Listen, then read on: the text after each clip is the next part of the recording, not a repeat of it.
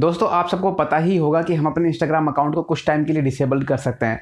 यानी कि temporary disabled कर सकते हैं उस अकाउंट को। और कुछ टाइम के लिए हम चाहते हैं कि इंस्टाग्राम अकाउंट को कोई भी सर्च करके ना देख सके तो हम उसको आसानी से कर सकते हैं। इस तरह से फेसबुक अकाउंट को भी दोस्तों, हम आसानी से टेम्परेरी डिसेबल कर सकते हैं। यानी कि कुछ टाइम के लिए हम फेसबुक से ब्रेक लेना चाहते हैं। और चाहते हैं कि कोई हमारे फेसबुक अकाउंट को सर्च करके ना देखे, हमारी प्रोफ़ाइल को ना देखें तो आप आसानी से कर सकते हैं। और इंस्टाग्राम पर कुछ टाइम के लिए आप टेम्परेरी डिसेबल कर सकते हैं, यानी कि जब तक आप लॉगिन नहीं करेंगे, तब तक आपका इंस्टाग्राम अकाउंट डिसेबल ही रहेगा। लेकिन फेसबुक पर ऐसा नहीं है। फेसबुक पर अगर आप चाहें तो कुछ टाइम सेट कर सकते हैं वहाँ पर, कि इस टाइम के बाद आपका फेसबुक अकाउंट ऑटोमेटिकली रिएक्टिवेट हो जाएगा। चाहे आप जब तक फेसबुक अकाउंट लॉगिन नहीं करेंगे, तब तक आपका फेसबुक अकाउंट डीएक्टिवेट ही रहेगा।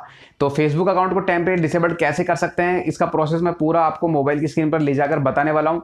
तो, तो वीडियो स्टार्ट करने से पहले मैं आपको बता दूँ अगर आप मेरे चैनल पर नए हैं तो ऐसी ऐसी ही हेल्पफुल वीडियो पाने के लिए मेरे चैनल को सब्सक्राइब करें।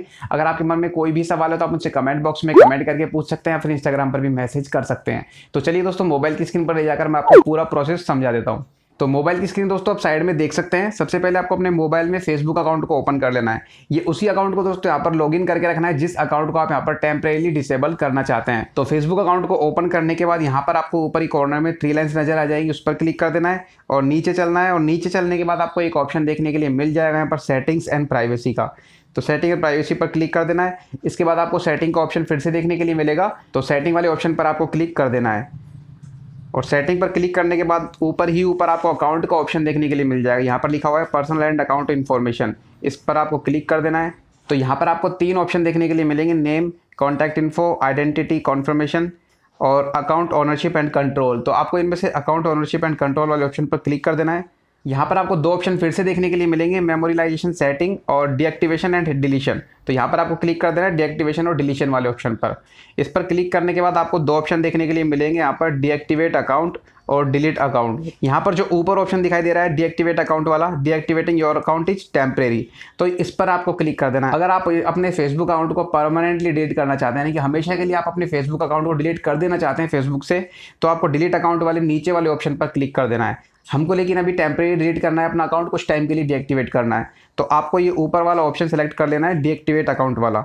और इसके बाद आपको नीचे कंटिन्यू टू अकाउंट डीएक्टिवेशन इस पर क्लिक कर देना है। इस पर क्लिक करने के बाद आपको अपने फेसबुक का पासवर्ड डाल देना है। यानी कि फेसबुक जब आप लॉगिन करते हैं तो वहाँ पर आपका फेसबुक आईडी और पासवर्ड डालते हैं तो यहाँ पर आपको अपना पासवर्ड डाल देना है। मैं पर अपना पासवर्ड डाल देता हूँ। पासवर्ड डालने के बाद आपको कंटिन्यू पर क्लिक कर देना है। तो आप इस पेज पर पहुँच जाएँगे। यहाँ पर आपको कुछ ऑप्शन सेलेक्ट करने होंगे, जैसे ऊपर ही ऊपर लिखा हुआ है डीएक्टिवेटिंग योर फेसबुक अकाउंट तो यहाँ पर आपको एक रीजन सेलेक्ट कर लेना है कि क्यों आप अपने अकाउंट को टेम्प्रेरी डिसेबल करना चाहते हैं। तो मैं ऊपर ही ऊपर फ़र्स्ट वाला सेलेक्ट कर लेता हूँ this is temporary I will back यानी मैं वापस आऊँगा तो इस पर आपको सेलेक्ट करके नीचे कंटिन्यू पर क्लिक कर देना है। कंटिन्यू पर क्लिक करने के बाद आपके सामने ऐसा इंटरफेस ओपन हो जाएगा यहाँ पर। तो आपको इनमें से कुछ भी सिलेक्ट नहीं करना है, नीचे चलना है और नीचे चलने के बाद आपको यहाँ पर एक ऑप्शन देखने के लिए मिलेगा रिएक्टिवेटिंग योर अकाउंट यहाँ पर सेवन डे सेलेक्ट है। इस पर आपको क्लिक कर देना है। तो यहाँ पर आप चाहे तो one two three four five six seven in days में से कोई सा भी सेलेक्ट कर सकते हैं। यानी कि इसका मतलब ये है कि आप जिस भी डेज़ को सेलेक्ट करेंगे तो उस दिन के बाद आपका अकाउंट यहाँ पर ऑटोमेटिकली रिएक्टिवेट हो जाएगा। यानी कि जो लोग सर्च करेंगे आपका अकाउंट उनको शो होने लग जाएगा। तो आप सेवन डेज़ सेलेक्ट कर सकते हैं। अगर आपको सेवन डेज़ के लिए करना है थ्री डेज़ के लिए करना है फोर डेज़ के लिए करना है आपके हिसाब से। लेकिन आपको नीचे नीचे एक ऑप्शन देखने के लिए मिलेगा डोंट रिएक्टिवेट ऑटोमेटिकली इस पर क्लिक करेंगे तो इसका मतलब यह है कि जब तक आप अपने अकाउंट को यहाँ पर रिएक्टिवेट नहीं करेंगे तब तक आपका ये अकाउंट डीएक्टिवेट ही रहेगा। तो, तो आप अपने हिसाब से इसमें कुछ भी सेलेक्ट कर सकते हैं जो आपको यूज़फुल लगे। तो इसके बाद आपको कंटिन्यू पर क्लिक कर देना है। और कंटिन्यू पर क्लिक करने के बाद आपके सामने ये वाला पेज ओपन हो जाएगा अकाउंट डीएक्टिवेशन का बिफोर यू डीएक्टिवेट डीएक्टिवेट करने से पहले आप जान लीजिए कि आप मैसेंजर को यूज़ नहीं कर पाएँगे और आपके पास नोटिफिकेशन भी कोई नहीं आएगा।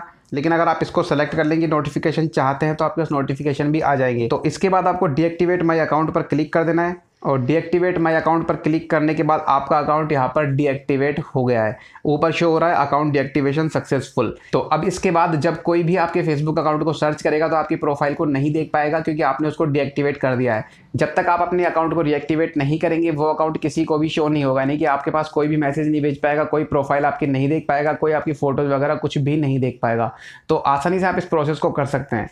लेकिन आपको जब अपने अकाउंट को रिएक्टिवेट करना हो तो क्या करना है? वो मैं आपको बता देता हूँ कि आप आपको अपने अकाउंट को रिएक्टिवेट करने के लिए फिर से अपने अकाउंट को लॉगिन कर लेना है। जब तक आप लॉगिन नहीं करेंगे, तब तक आपका अकाउंट डीएक्टिवेट ही रहेगा। लॉगिन करने के बाद आपका अकाउंट आप फिर से यूज़ कर पाएँगे। तो उम्मीद करता हूँ दोस्तों, आज की वीडियो आपको समझ में आ गई होगी और जो प्रोसेस मैंने समझाया बिल्कुल अच्छी तरह से वो आप कर पाएँगे। तो वीडियो पसंद आई तो वीडियो को ज़्यादा से ज़्यादा लाइक करें और शेयर करें। और अगर आप मेरे चैनल पर नए हैं तो ऐसी ही हेल्पफुल वीडियो पाने के लिए मेरे चैनल को प्लीज़ सब्सक्राइब करें। मिलते हैं नेक्स्ट वीडियो में। तब तक के लिए बाय